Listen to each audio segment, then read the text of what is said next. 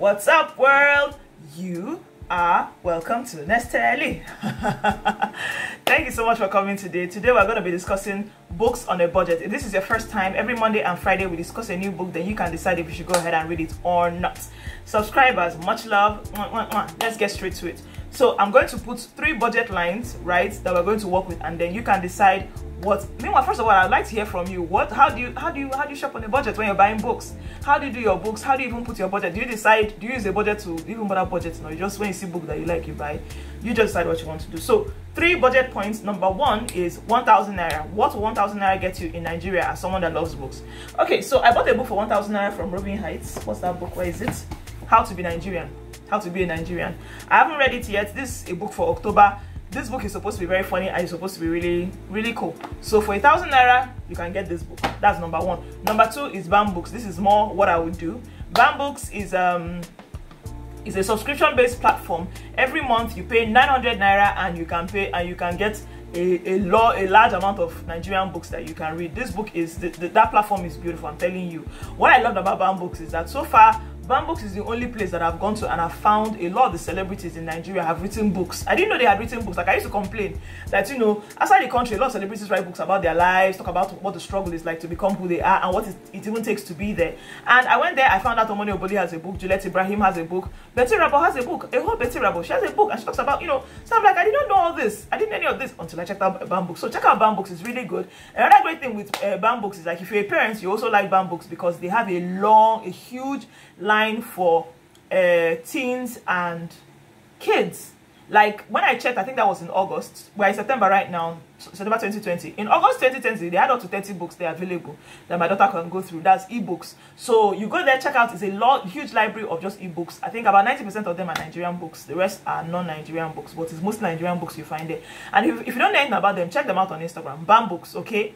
Uh, check them out on Instagram, you will see that they, they, they, as in every other day they tend to show up in new. Say, oh, new to books, you see a new book, new to books. I'm like, this guy should just give us a chill for a minute. But it's really nice. Use it on your device, and you can sit down and read. Sit down, read, chill. Instead of sitting at the bus and gossiping about how road is bad and rain is falling. Sit down and read a book on your on your phone. okay, so that's number one. Number two is uh, the second price point is five thousand naira. Five.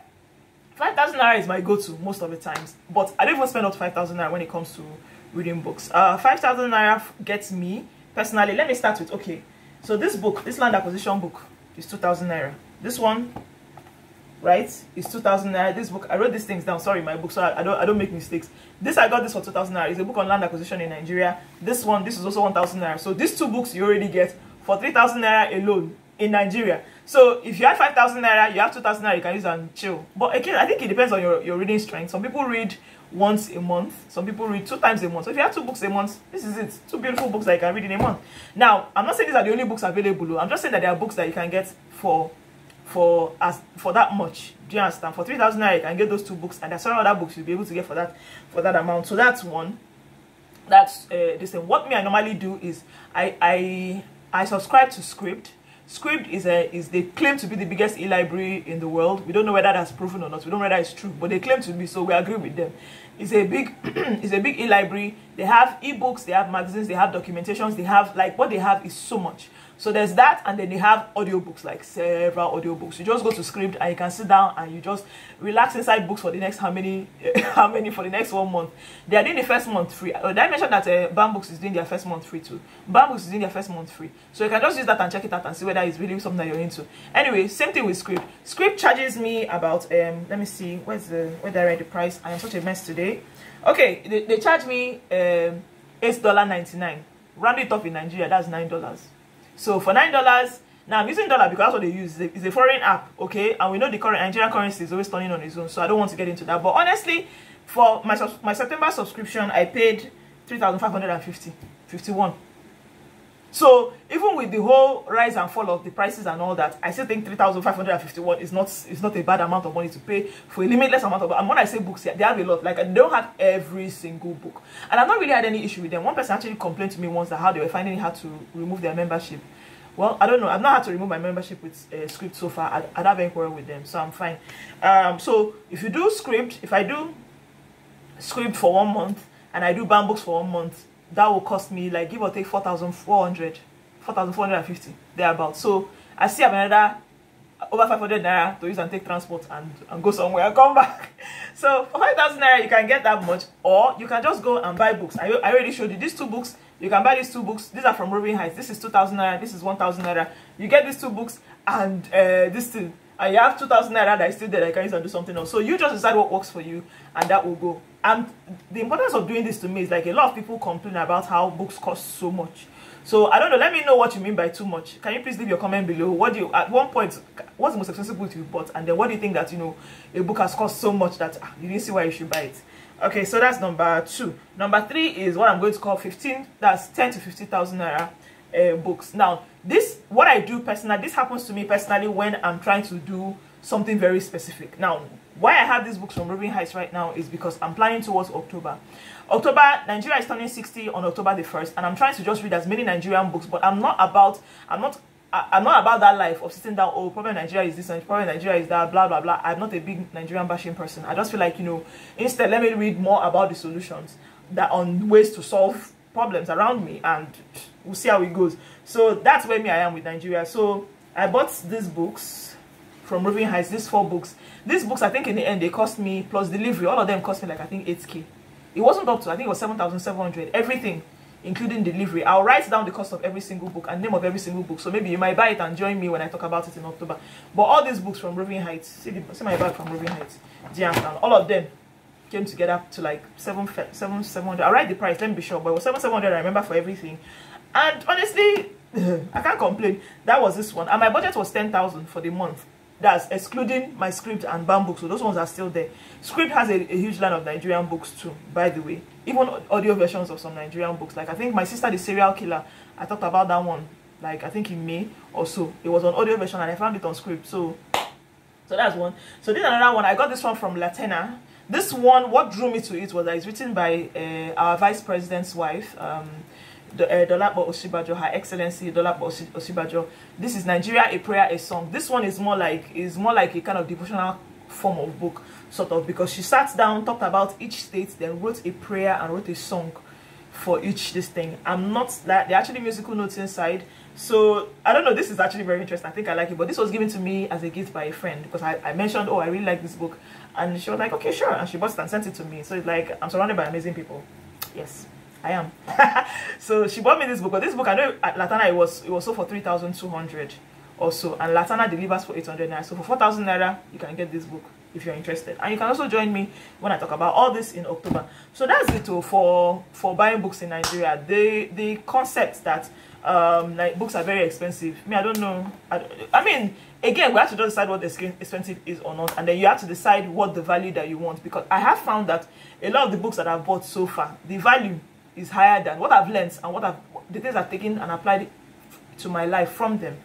Um, I found that it's worth more than the book. The most expensive book I think I've paid for so far was Arese Ugu's um, Smart Money Tribe, and that was 6,000 naira. And even that book, safe, that's 6,000 naira for me I just felt like uh, it's worth it though, you know, I, I about it in general, like it's worth it because that book is good. It's a good book. It taught me about, like, I, I didn't know much about bonds in Nigeria until I read that book and I started thinking, okay, let's find out what about FGN bonds are about. And now, you know, now I'm actually like really into it. So, uh, so, and like I want to talk about was these.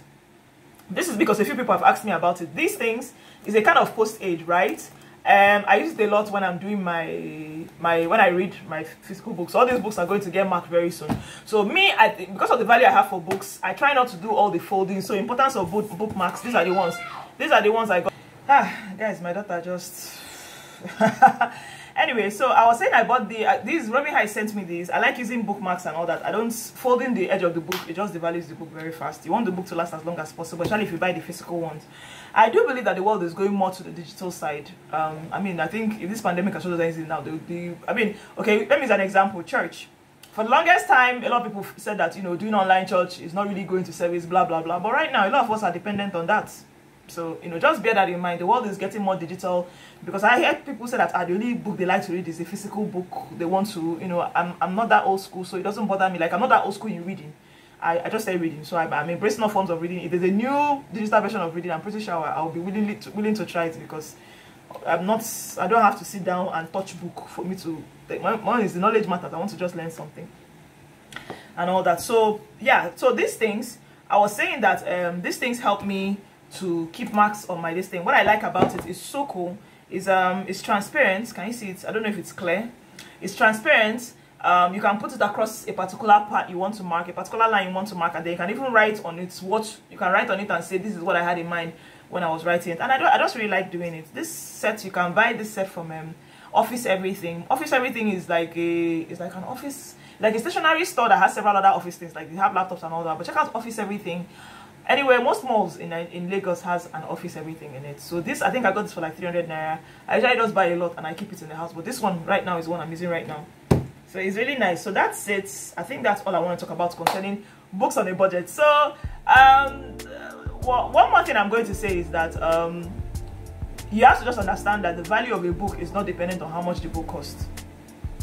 It, it has nothing to do with the, book, the, the, cost of the book. And you have to just decide what problem you're trying to solve in your life. Then pick up a book and read about that. I think if you do that first of all you're more engrossed in the book. That's number one. Number two the value that you get out of it you're able to get more out of it. If you're reading a book just because everybody's talking about it and it's good you might not be really into it as much as um, if you're reading a book trying to solve a certain problem. Like if you're struggling with a child with let's say a, um, an autistic child do you understand? And you find somebody find three books about dealing with autism uh, uh, parents of course you, you tend to want to read that to know more. Yes i'm talking about this because somebody called me when i talked about uh, defeating autism you know and the girl calls me and starts crying. She has a she has a, a, a, her first child is autistic and it's really bad and she's she feels so helpless. She don't know what she doesn't know what to do.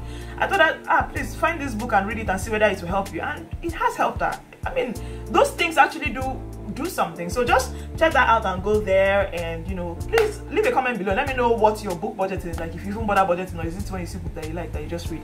Let me know. And then um leave there's a thumbs up please. Leave a thumbs up so that youtube will know that people are watching this book this thing and liking it and then so more people can get to see it. And then subscribe if you haven't you know ring the bell below. And thank you so much for watching. Bye bye